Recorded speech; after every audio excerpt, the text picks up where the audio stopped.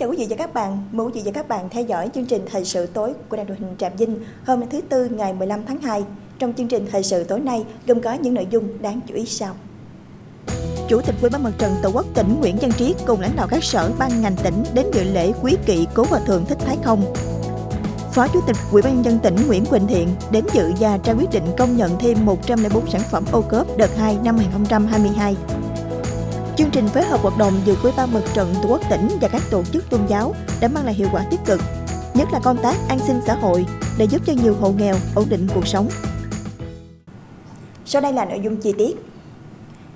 Thưa quý vị các bạn, chiều hôm qua ngày 14 tháng 2, Đảng ủy khối các cơ quan và doanh nghiệp tỉnh Trà Vinh tổ chức tổng kết công tác xây dựng tổ chức cơ sở đảng và đảng viên cùng công tác dân vận, quy chế dân chủ ở cơ sở và phong trào thi đua dân vận khéo năm 2022 đồng thời triển khai quán triệt nghị quyết năm 2023 của tỉnh ủy Trà Vinh. Qua kiểm tra đánh giá xếp loại chất lượng tổ chức cơ sở đảng năm 2022, Đảng quỹ khối các cơ quan và doanh nghiệp tỉnh có 79 chi đảng bộ cơ sở đạt hoàn thành tốt nhiệm vụ, chiếm trên 92,4%.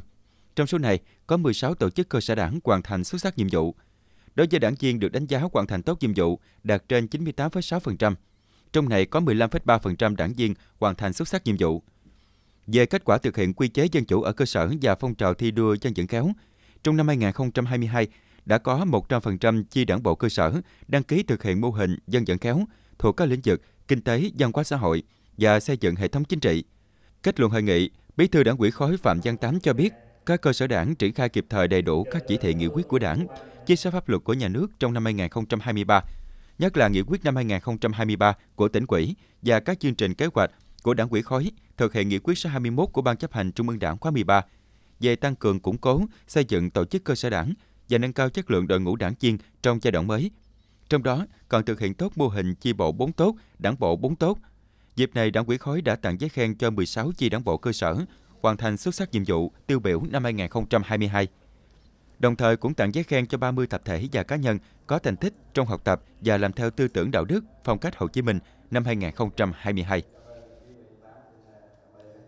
Hôm qua ngày 14 tháng 2, Ban trụ trì Tổ đình Lưỡng Xuyên tổ chức lễ quý kỵ lần thứ 40 Cố Hòa Thượng Thích Thái Không và hiệp kỵ các chư vị tiền bối Tổ đình Lưỡng Xuyên nhằm tỏ lòng tri ân những bậc tiền nhân đã một đời vì đạo Pháp dân tộc. Tham dự có Hòa Thượng Thạch Sóc San, Phó Chủ tịch Hội đồng trị sự, trưởng ban trị sự Giáo hội Phật giáo Việt Nam tỉnh Trà Vinh, Hòa Thượng Thích Trí Minh, Ủy viên Hội đồng trị sự, Phó trưởng ban thường trực Ban trị sự Giáo hội Phật giáo Việt Nam tỉnh Trà Vinh, cùng chư tôn Đức Tăng Ni, trụ trì các cơ sở tự viện trên địa bàn tỉnh. Cùng tham dự có ông Nguyễn Văn Triết, Ủy viên Ban Thường vụ tỉnh ủy, Chủ tịch Ủy ban Mặt trận Tổ quốc Việt Nam tỉnh Trà Vinh, ông Bùi Quang Quy, nguyên Ủy viên Trung ương Đảng, nguyên Bí thư tỉnh ủy tỉnh Trà Vinh, ông Thạch Dư, nguyên Thứ trưởng Bộ Ngoại giao nước Cộng hòa xã hội chủ nghĩa Việt Nam và các cơ quan ban ngành tỉnh và thành phố Trà Vinh. Thay mặt Ban trị sự Giáo hội Phật giáo Việt Nam tỉnh Trà Vinh, trụ trì Tổ đình Lưỡng Xuyên, Hòa thượng Thích Trí Minh đã cung tuyên tiểu sử của cố Hòa thượng Thích Thái Không với tâm lòng yêu nước khi nước nhà bị xâm lược. Ngài đã gặp sư Thiện Chiếu và hợp tác với Hội Nghiên cứu Phật học Nam Kỳ viết tờ báo Từ Bi Âm để phổ biến thuyết từ bi của Đức Phật là ban vui cứu khổ với bút hiệu là Thái Không. Trong hai cuộc kháng chiến chống thực dân Pháp và đế quốc Mỹ, Hòa Thượng Thích Thái Không đã cùng với tăng ni đồng bào Phật tử tích cực tham gia các hoạt động cách mạng chống giặc ngoại xâm. Sau ngày miền Nam hoàn toàn giải phóng thống nhất đất nước, Hòa Thượng Thích Thái Không được bầu vào Quỹ ban Mặt trận Tổ quốc thị xã Trà Vinh, đại biểu Hội đồng nhân dân tỉnh Cửu Long, Quỹ viên Mặt trận Tổ quốc tỉnh Cửu Long nhiệm kỳ 1 và 2. Tại Đại hội Phật giáo Thống nhất Toàn quốc năm 1982, Ngài đã được bầu vào chức vụ Phó Chủ tịch Hội đồng trị sự Giáo hội Phật giáo Việt Nam nhiệm kỳ 1. Cố Hòa Thượng Thích Thái Không là một trong những giáo sĩ tiêu biểu của Phật giáo Việt Nam. Suốt cuộc đời sống thanh đạm, giản dị, luôn có tinh thần yêu nước và gắn bó với đạo Pháp dân tộc. Tại buổi lễ quý kỵ các vị chư tôn đức giáo phẩm,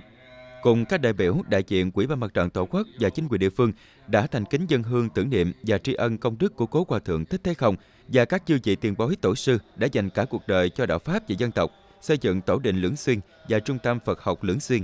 nơi giáo dưỡng nên những vị tăng đang cống hiến tâm lực cho giáo hội Phật giáo tỉnh nhà.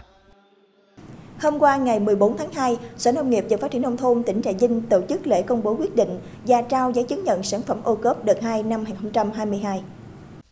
Trong đợt này, Trà Vinh có 104 sản phẩm được Ủy ban nhân dân tỉnh trao giấy chứng nhận đạt ô cốp, trong đó có 26 sản phẩm đạt hạng 4 sao, 78 sản phẩm đạt hạng 3 sao của 74 chủ thể, gồm 49 hộ kinh doanh, 10 công ty, 3 doanh nghiệp tư nhân, 11 hợp tác xã, 1 tổ hợp tác. Nâng tổng số đến nay, toàn tỉnh có 184 sản phẩm được công nhận ô cốp,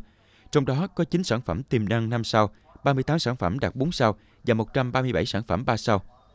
Phát biểu tại lễ công nhận sản phẩm ô cốp, Phó Chủ tịch Ủy ban nhân dân tỉnh Nguyễn Quỳnh Thiện đề nghị các chủ thể có sản phẩm đạt ô cốp tiếp tục duy trì quy trình sản xuất một cách hiệu quả, đảm bảo chất lượng sản phẩm, chú trọng nhãn mát và tiêu chuẩn phù hợp với hạng sao đã được quy định trong chương trình ô cốp. Đặc biệt là các đơn vị cần chủ động nghiên cứu khắc phục những điều còn hạn chế, từ đó có kế hoạch nâng hạng sao để từng bước kinh doanh hiệu quả hơn. Phó Chủ tịch Ủy ban dân tỉnh cũng chỉ đạo các sở ngành tỉnh và địa phương cần đẩy mạnh công tác vận động tuyên truyền, hướng dẫn các cơ sở có sản phẩm tiềm năng để tham gia chương trình ô cốp, từng bước nâng số lượng sản phẩm ô cốp của tỉnh. Theo Sở Nông nghiệp và Phát triển nông thôn tỉnh, chương trình ô cốp của tỉnh đặt ra từ nay đến năm 2025 có thêm ít nhất 165 sản phẩm được công nhận đạt từ 3 sao trở lên, trong đó ưu tiên phát triển sản phẩm ô cốp cho các hợp tác xã, doanh nghiệp nhỏ và vừa. Phấn đấu có khoảng 30% sản phẩm xây dựng được chuỗi giá trị theo hướng ô cốp xanh gắn với dùng nguyên liệu ổn định. Có ít nhất 10% làng nghề trong tỉnh có sản phẩm ô cốp và khoảng 50% chủ thể ô cốp tham gia vào các kênh bán hàng tại hệ thống siêu thị, cửa hàng tiện lợi và sàn giao dịch thương mại điện tử.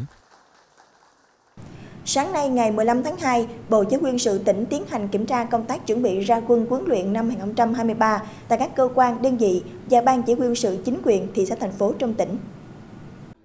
Tại đây, các đơn vị được kiểm tra các hoạt động chuẩn bị huấn luyện năm 2023 như kiểm tra công tác sổ sách thống kê xây dựng lực lượng, hệ thống văn kiện, giáo án huấn luyện, kế hoạch huấn luyện cho các đối tượng, phương pháp thông qua giáo án, bài giảng, đặc biệt là kiểm tra về cơ sở vật chất, thao trường, bãi tập, mô hình, học cụ, kiểm tra nhận thức của cán bộ huấn luyện về các nội dung, nhiệm vụ huấn luyện, sẵn sàng chiến đấu.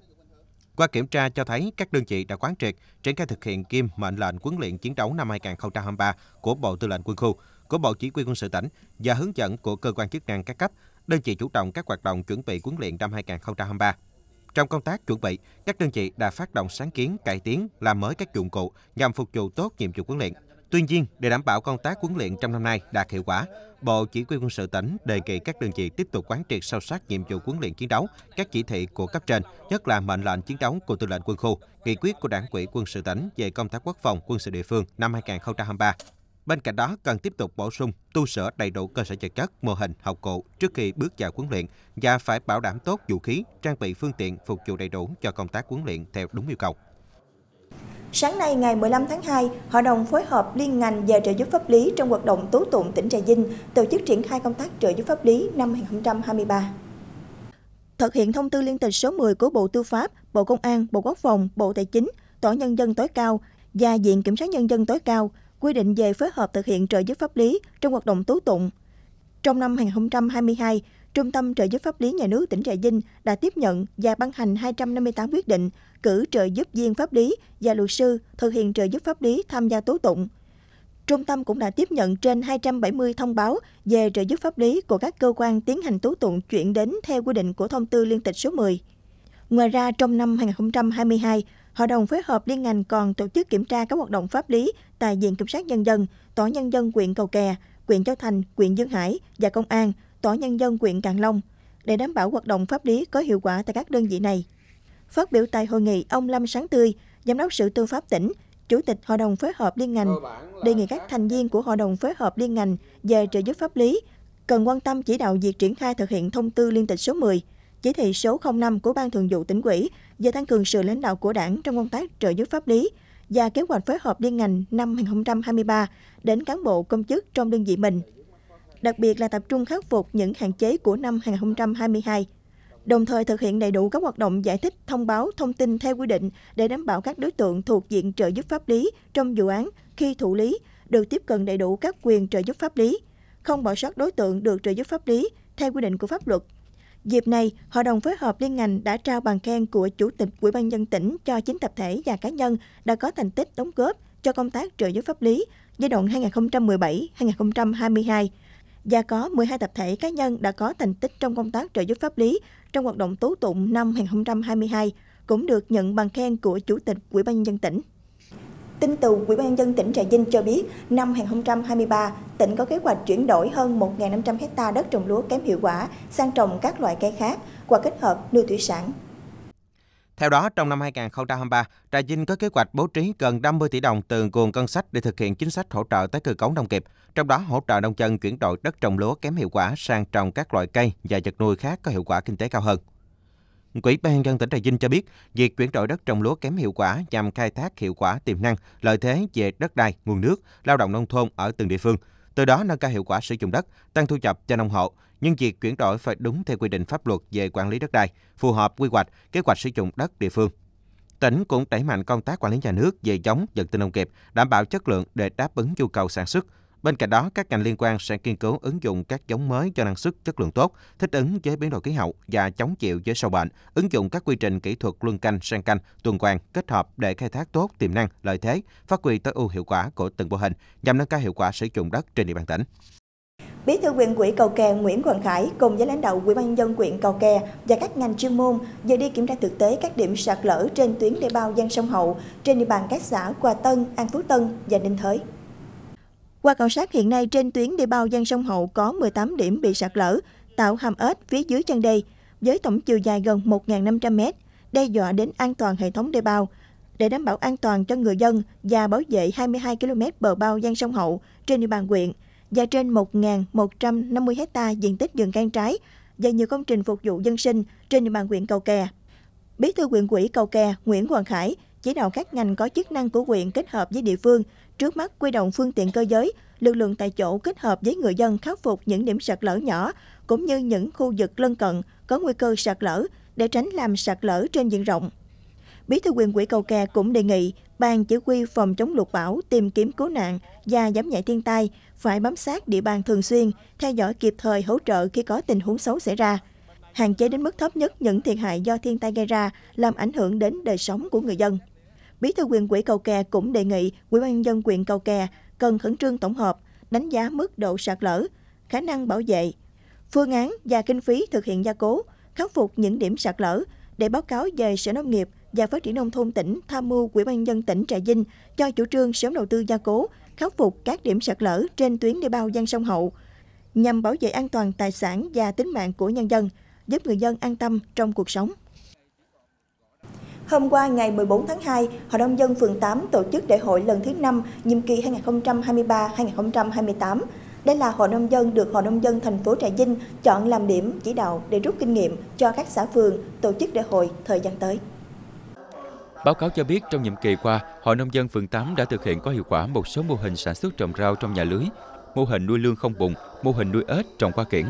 Hiện nay, Hội nông dân phường 8 quản lý 8 tổ với gần 300 hộ chai với chính sách tín dụng gần 7,5 tỷ đồng, giúp hội viên có nguồn vốn phát triển sản xuất, góp phần phát triển kinh tế cho hội viên. Tại đại hội, Hội Nông dân phường 8 đã đề ra phương hướng nhiệm vụ công tác hội và phong trào nông dân nhiệm kỳ 2023-2028 với các chỉ tiêu phấn đấu vận động có ít nhất 80% hội viên nông dân tham gia vào các tổ chức kinh tế hợp tác đa dạng. Có 90% trở lên hộ sản xuất nông nghiệp được tham gia thi đua sản xuất kinh doanh giỏi và có 55% trở lên hộ đăng ký đạt danh hiệu nông dân sản xuất, kinh doanh giỏi. Tin từ Sở Nông nghiệp và Phát triển Nông thôn tỉnh Trà Vinh cho biết, hiện nay các hợp tác xã nuôi nghêu ở thị xã Dương Hải đang bước vào vụ thu hoạch nghêu năm 2022-2023 và đều đạt sản lượng cao. Chỉ tính riêng hợp tác xã nuôi nghêu Phương Đông ở xã Trường Long Hòa, thị xã Dương Hải, trong vụ nuôi nghêu năm nay, hợp tác xã đã thả nuôi 106 tấn giống nghêu trên diện tích 93 hecta mặt nước, Kết quả đến nay đã thu hoạch được trên 1.300 tấn ngư thương phẩm, đạt doanh thu trên 42 tỷ đồng. Theo Hợp tác xã nuôi nghêu Phương Đông, hiện nay sản lượng nghêu của hợp tác xã còn trên 400 tấn, đang tiếp tục được thu hoạch và sẽ thu hoạch dứt điểm trong những tháng tới. Với sản lượng và giá thị trường nghêu cao như hiện nay, hợp tác xã có lãi tăng hơn 300% so với vụ nuôi nghêu năm trước. Hợp tác xã nuôi nghêu Phương Đông cũng cho biết, bước vào vụ thu hoạch nghêu năm nay, trung bình mỗi ngày, hợp tác xã giải quyết việc làm cho trên 200 lao động ở địa phương. Đặc biệt vào lúc cao điểm, hợp tác xã giải quyết việc làm cho trên 600 lao động một ngày. Và hiện nay, hợp tác xã nuôi nghêu Phương Đông tiếp tục thả lắp vụ gần 200 tấn nghêu giống để thu hoạch trong vụ sau.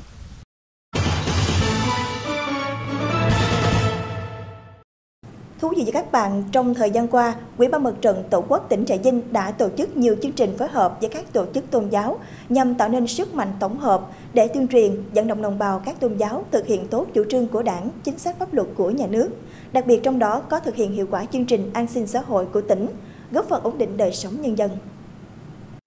Chủ tịch Ủy ban Mặt trận Tổ quốc Việt Nam tỉnh Trà Vinh Nguyễn Văn Triết cho biết, với vai trò là trung tâm đoàn kết, trong những năm qua, Ủy ban Mặt trận Tổ quốc Việt Nam tỉnh đã tích cực thực hiện công tác tuyên truyền, vận động các chức sắc chức việc, đồng bào các tôn giáo chấp hành tốt chủ trương, đường lối của Đảng, chính sách, pháp luật của nhà nước, gắn bó chặt chẽ khối đại đoàn kết toàn dân tộc, tích cực tham gia các phong trào thi đua yêu nước, các hoạt động từ thiện xã hội.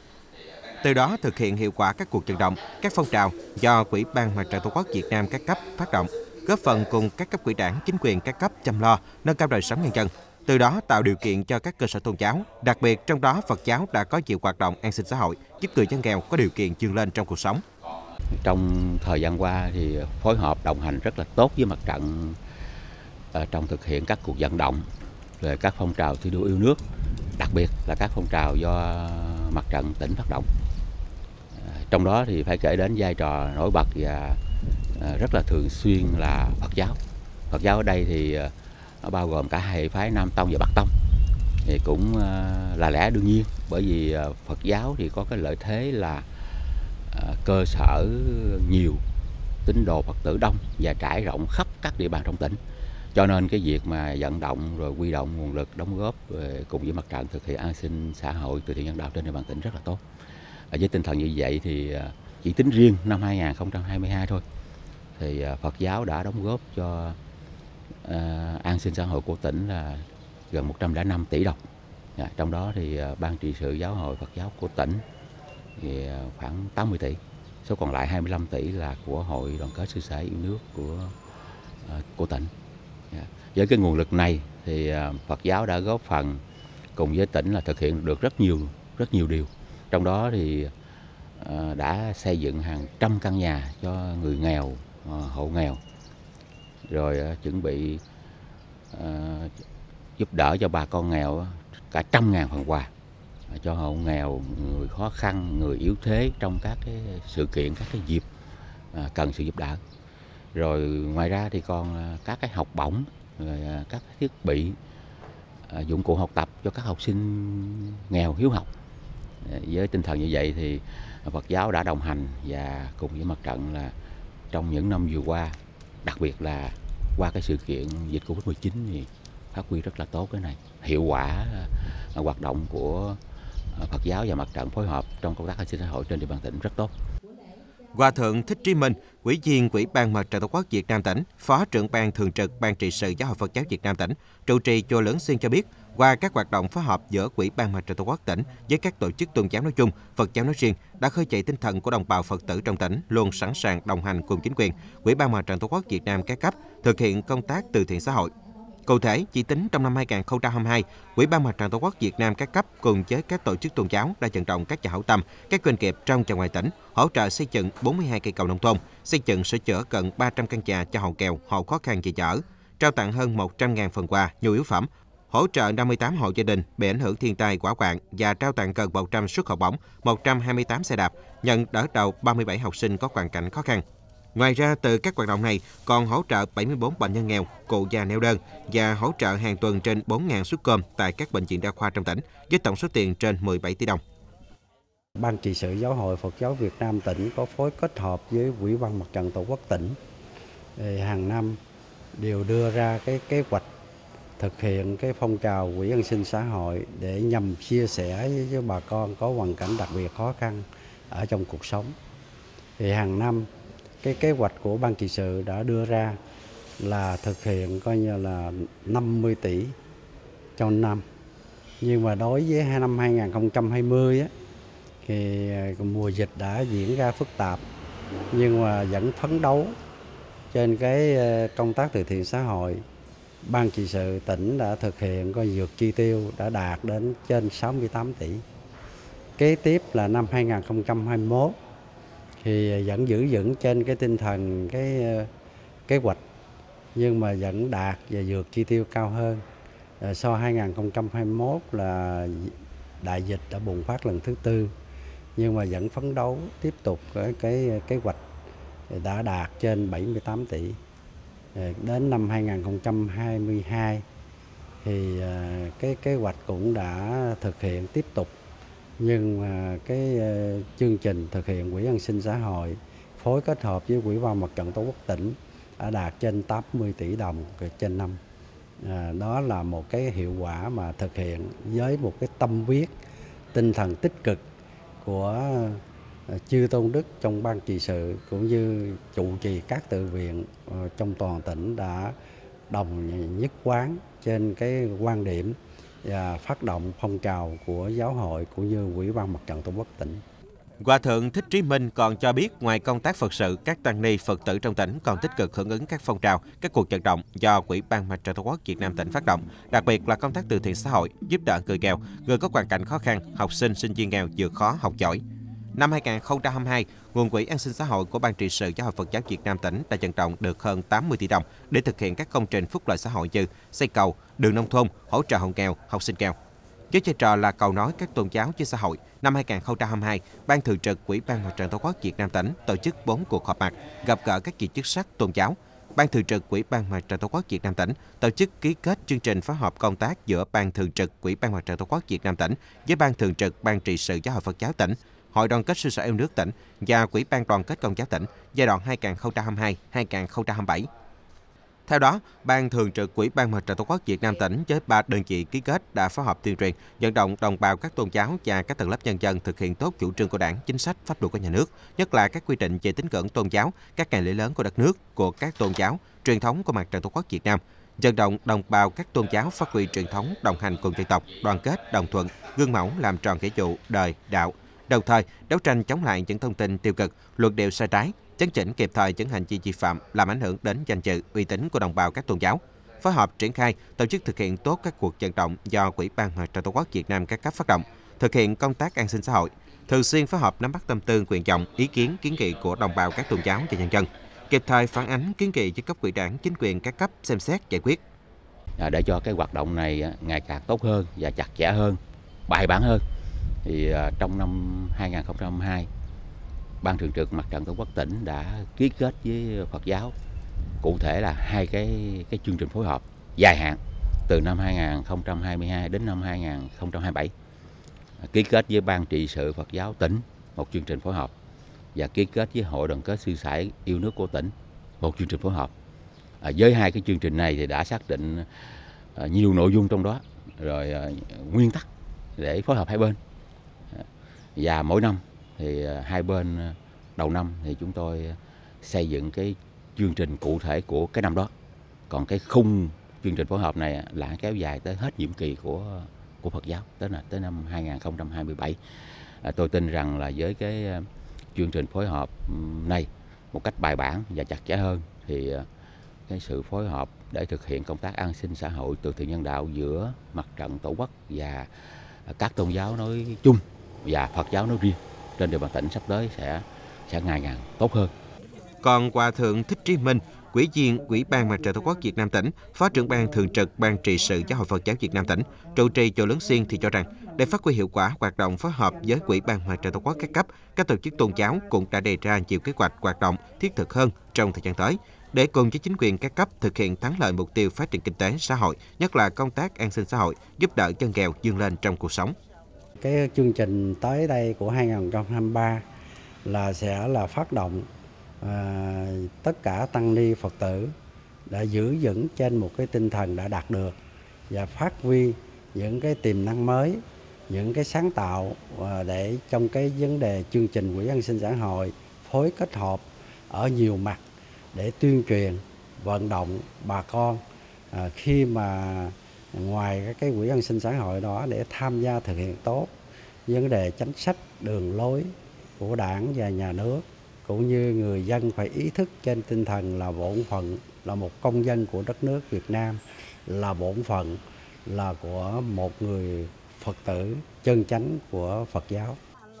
Với hiệu quả của chương trình phối hợp hoạt động trong những năm qua giữa Quỹ ban Mặt trận Tổ quốc các cấp trong tỉnh với các tổ chức tôn giáo, tin rằng đây sẽ là nền tảng vững chắc để góp phần cho tỉnh Trà Vinh thực hiện thắng lợi mục tiêu giảm nghèo trong thời gian tới. Quý vị và các bạn thân mến, chương trình thời sự tối nay đến đây là hết. Cảm ơn quý vị và các bạn đã quan tâm theo dõi. Còn ngay sau đây mời quý vị và các bạn theo dõi bản tin dự báo khí tượng thủy văn đêm nay và ngày mai.